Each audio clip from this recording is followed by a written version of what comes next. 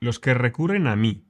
Esta es la primera etapa. Es decir, Dios conforma, que en esta cultura se llama saguna, conforma con atributos, personal. Primera etapa.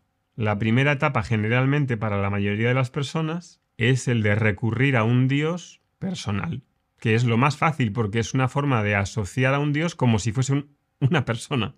Y por eso lo representamos como una persona, antropomórfico. A nivel emocional da un regocijo. Digo, no a todos, pero en el que hablamos como cada uno lo vive, lo ha vivido, en qué etapa está. Pero aquí es como si dijera que hay esas dos etapas. Una primera de contacto con un Dios personal, el que esté en la cultura de cada uno, y ese Dios psicológicamente hace bien, porque recurre a una figura que es como un padre.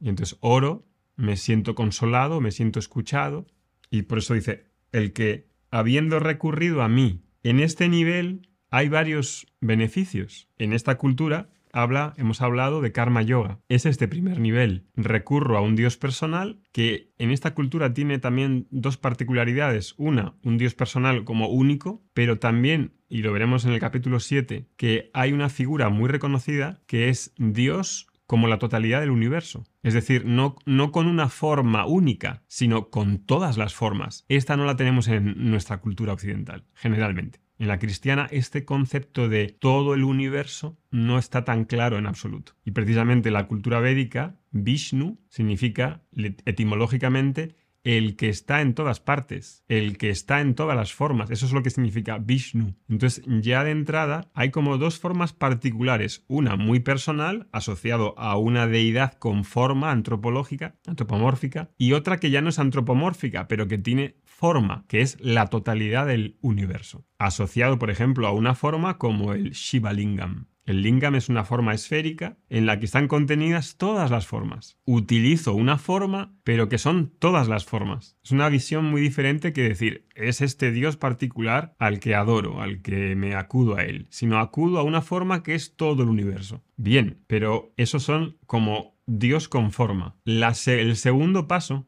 y lo explico ahora, el segundo paso. Dentro del primer paso está esa forma de Dios personal en la que utilizo una metodología, por decirlo de alguna manera, un estilo de vida que se llama Karma Yoga. Y en ese Karma Yoga ofrezco mis acciones y recibo las acciones siempre teniendo presente a ese Ishvara en forma personal. Ofrezco mis acciones y recibo las acciones. Y a través de esa mm, actitud me purifico de qué? De los ragas y los duesas, de las aversiones, de la obsesión con los resultados, que implica una forma de pensar que es muy particular y es el mundo es fuente de, satisfacción e insatisfacción y por eso quiero manipularlo, por eso quiero controlarlo, por eso quiero que produzca lo que quiero en términos de mis deseos personales. Pero implica una forma de pensar y es esta. El mundo es realmente la causa de mi felicidad o infelicidad. Si tengo esa idea, lógicamente tendré esas apegos y aversiones y querré, por lo tanto, manipular el mundo para mi, para mi bien.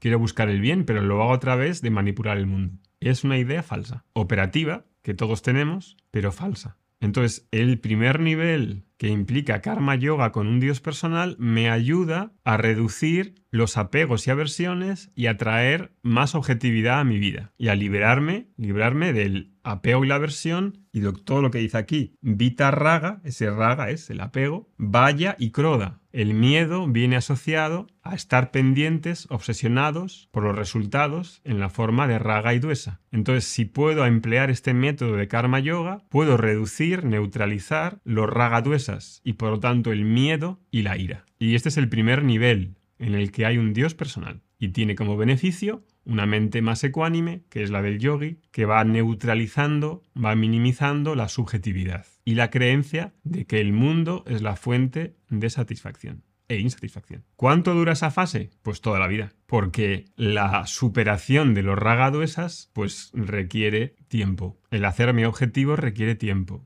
Crecer requiere tiempo entonces siempre seré un karma yogi. Pero no es suficiente con eso. Hay otra etapa, la segunda etapa, que aquí también señala. La primera es, habiendo recurrido a mí como Dios personal, librándote de todo esto del el raga, el apego, el miedo y la, ira, ahora dice, putaha, una vez purificado, a través de esto hay una segunda etapa y la segunda etapa es la comprensión. ¿La comprensión de qué? De que el mundo no es la fuente de satisfacción e insatisfacción. ¿Qué es entonces la fuente? ¿Dónde está la fuente de satisfacción e insatisfacción? ¿De qué dependo? De mí mismo de mí mismo en el sentido profundo, de el sí mismo profundo, de la presencia ontológica. He de aprender a ver que no hay un Dios externo que me vaya a salvar, que esa primera fase es temporal y que la tendré que superar cuando llegue el momento. Y esa segunda frase será la definitiva, porque fijaros lo que dice. Putaja ñana tapas. Qué bonita esta palabra. ñana tapas. Tapas por la práctica del ñana, de la comprensión. Agataja, agataja, gata es ir, es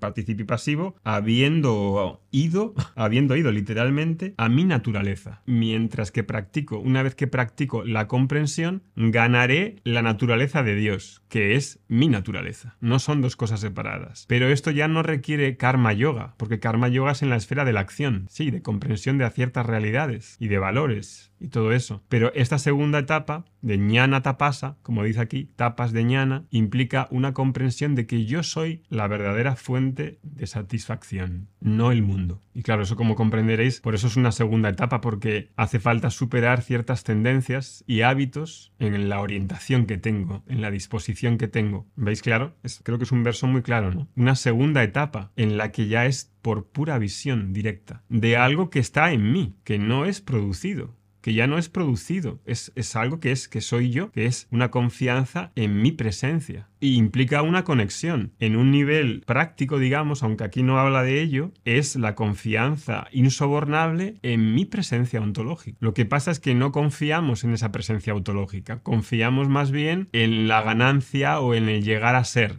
ya no solamente la ganancia en términos materiales, sino la ganancia en términos psicológicos del yo ideal. Es decir, si ponemos en la balanza ahora mismo aquí ahora, ¿no? miércoles a las 2 de la tarde, ¿qué es lo que valoras más? Si haces un examen de conciencia, probablemente digas, si ponemos en, una balanza, en un lado de la balanza, la presencia, tu presencia, el valor que tengo por la presencia, y en el otro lado de la balanza, lo que me gustaría llegar a ser en términos de ideas, de yo ideal, es decir, de imágenes. Me gustaría ser este hombre rico, este hombre sabio, este, este, estas posesiones, estos logros. Lo que me gustaría ser en términos de imágenes, de ideas, que implica mente, mente. ¿Qué creéis que pesaría más? ¿El mundo de las ideas de lo que voy a ser o mi presencia actual? ¿Qué creéis que pesaría más? La presencia, el valor por la presencia, tiene importancia para nosotros de nuestra presencia. Por ejemplo, estamos aquí ahora, ¿no? Y veis las caras de cada uno y por la imagen pues te viene una impresión, ¿no? Por ejemplo, miro a Rodrigo y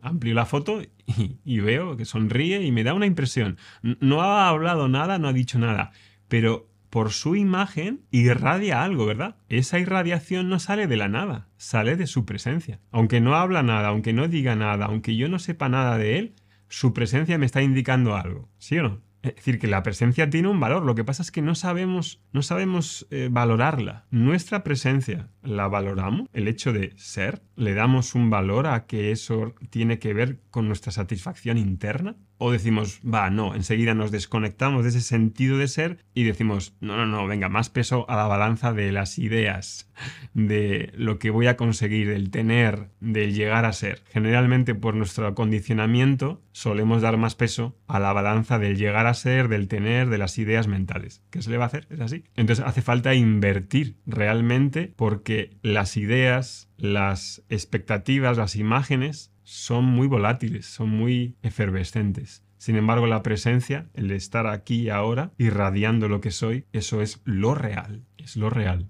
Entonces he de aprender a valorar eso. Esto es ñana tapasa, la segundo nivel. Y ñana tapasa ya implica un tipo de Dios que no es personal, que se llama nirguna, sin, sin cualidades. Y ese nirguna no es nada más que el sí mismo. Ahí ya no hay Dios personal, ahí no hay, no hay cualidades, ahí no hay atributos. Quien comprende esto gana mi naturaleza, estableciendo la ecuación directa de que la identidad de Dios y la del individuo es exactamente la misma. No hay dos caminos.